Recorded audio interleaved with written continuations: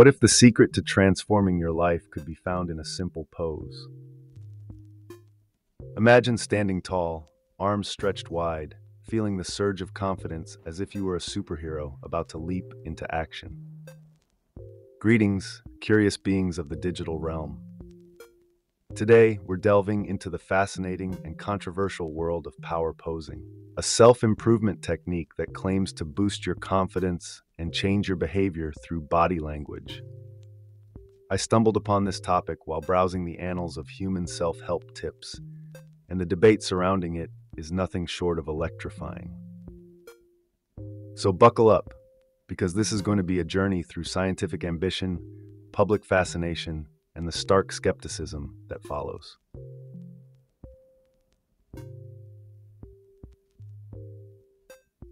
Power posing burst onto the scene in 2010 when Amy Cuddy, along with her colleagues Dana Carney and Andy Yap, introduced the concept in a groundbreaking paper. The premise was simple yet profound adopting high power poses, like standing with your feet apart and hands on your hips, could increase testosterone levels and decrease cortisol, thus making you feel more powerful. This idea quickly captured the imagination of both the scientific community and the general public. It seemed like a revelation, a tangible way to fake it till you make it, promising that a few minutes of posturing could change your internal state and ultimately your life.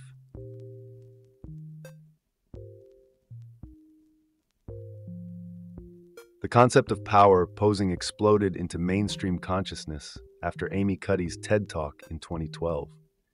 Her presentation, filled with personal anecdotes and charismatic delivery, resonated deeply with millions. It became one of the most watched TED Talks ever, catapulting the idea into the limelight. People everywhere started practicing their power poses before job interviews, presentations, and challenging social situations. The media buzzed with stories of individuals transforming their lives through this simple technique. It was a golden age for power posing, where the promise of newfound confidence seemed just a pose away.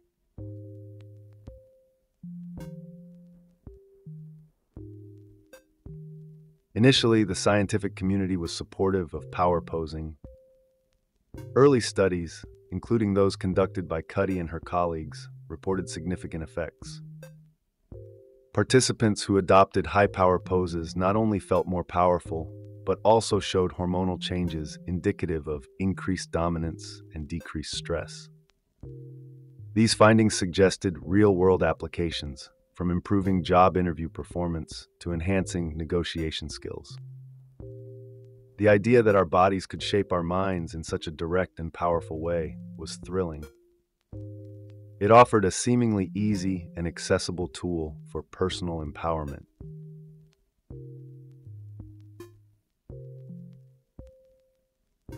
However, the initial euphoria began to wane as replication studies started pouring in. Researchers attempting to replicate the original findings found themselves facing inconsistent results. Some studies could not reproduce the hormonal changes reported by Cuddy and her team. Others found no significant behavioral changes linked to power poses. Criticism mounted, with scholars pointing out methodological flaws and the potential for selective reporting in the original research. The scientific community, which had once embraced power posing with open arms, began to turn a more critical eye towards it. The seeds of skepticism were sown and the replication crisis in psychology loomed large over the once promising technique.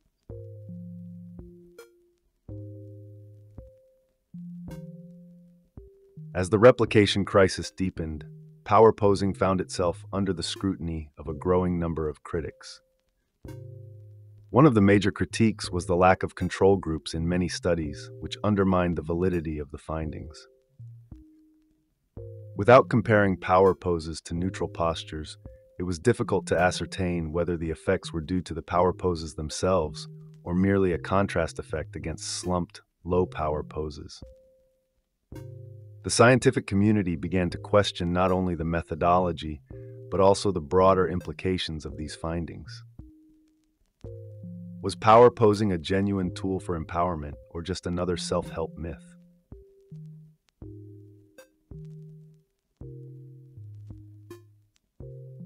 The controversy reached a tipping point in 2016 when Dana Carney, one of the original authors, publicly renounced the validity of power posing. In a statement, she declared that she no longer believed the effects were real, citing the overwhelming evidence against it. This was a significant blow to the credibility of power posing, as Carney's change of heart highlighted the gravity of the replication issues.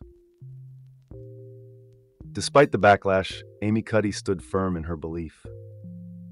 She continued to advocate for power posing, arguing that while the physiological effects might be questionable, the psychological benefits, such as increased feelings of power, were still valid.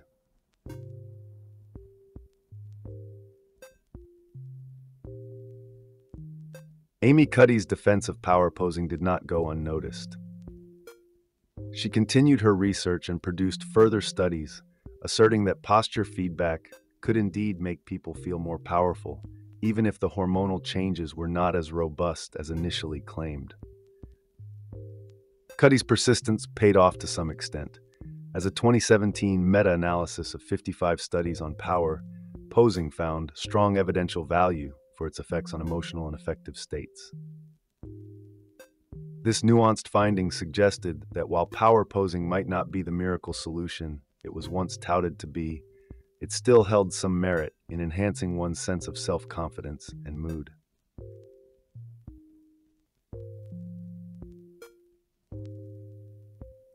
The public and media reaction to the power posing controversy was as dynamic as the science itself. Initially hailed as a breakthrough in self improvement, power posing quickly became a focal point for discussions on scientific validity and the replication crisis. Media outlets that had once promoted the technique began to cover the emerging doubts, creating a polarized landscape of opinions. On one side, there were staunch supporters who continued to practice power posing and swear by its benefits. On the other, skeptics and critics who viewed it as a cautionary tale of overhyped science and media sensationalism.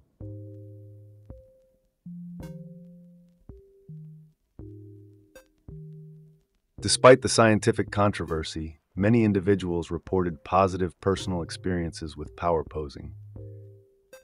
Stories emerged of people who felt more confident and assertive after practicing the poses, attributing job interview successes and personal victories to this simple technique. These anecdotal accounts, while not scientifically rigorous, added a human dimension to the debate. They highlighted the potential placebo effect and the power of belief in self improvement practices. Whether or not power posing could be scientifically validated, it undeniably resonated with many on a psychological and emotional level, providing a sense of empowerment in challenging situations.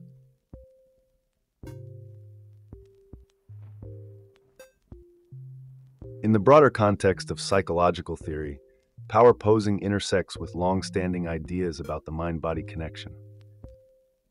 The concept that our physical posture can influence our mental state is rooted in embodied cognition, a theory suggesting that our thoughts, feelings, and behaviors are deeply intertwined with our bodily sensations and actions. Power posing tapped into this theory, proposing that by adopting expansive, dominant postures, we could trick our minds into feeling more powerful. While the physiological evidence remains contentious, the psychological perspective maintains that how we carry our bodies does affect how we feel and act.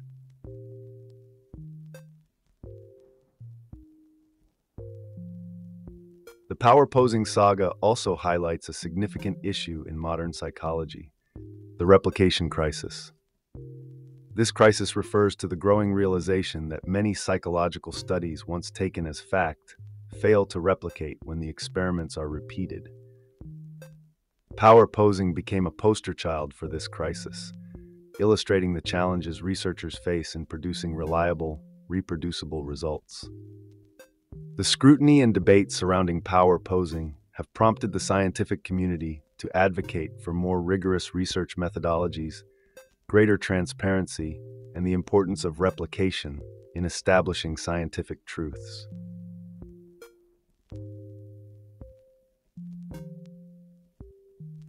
Ethically, the controversy over power posing raises questions about the responsibility of scientists and media in disseminating research findings. The initial enthusiasm for power posing was fueled by compelling narratives and widespread media coverage, which often glossed over the nuances and limitations of the research. As the backlash grew, it became clear that both researchers and journalists need to approach scientific communication with caution ensuring that the public receives a balanced view. The ethical imperative to avoid overstating findings is crucial in maintaining public trust in science and preventing the spread of potentially misleading information.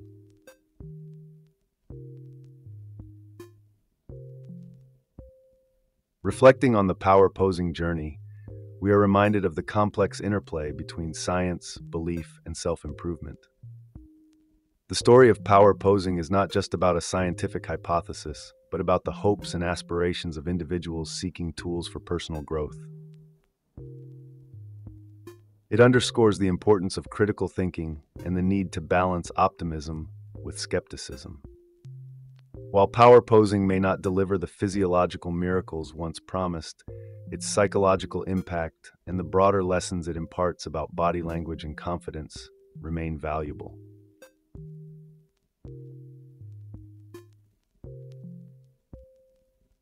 As we conclude this exploration of power posing, it's clear that the technique sits at the crossroads of science and self help, embodying both the potential and pitfalls of psychological research. Whether you view power posing as a powerful tool for personal empowerment or a cautionary tale of scientific overreach, its journey offers profound insights into human nature, belief, and the quest for self improvement. Thank you for joining me on this deep dive into one of the most intriguing and contentious topics in modern psychology. Until next time, stay curious and never stop questioning.